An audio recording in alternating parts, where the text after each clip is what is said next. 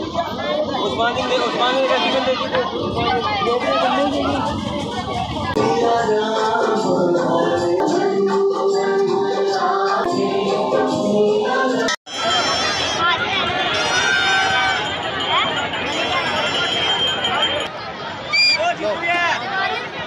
पूरा वीडियो मानो चाहिए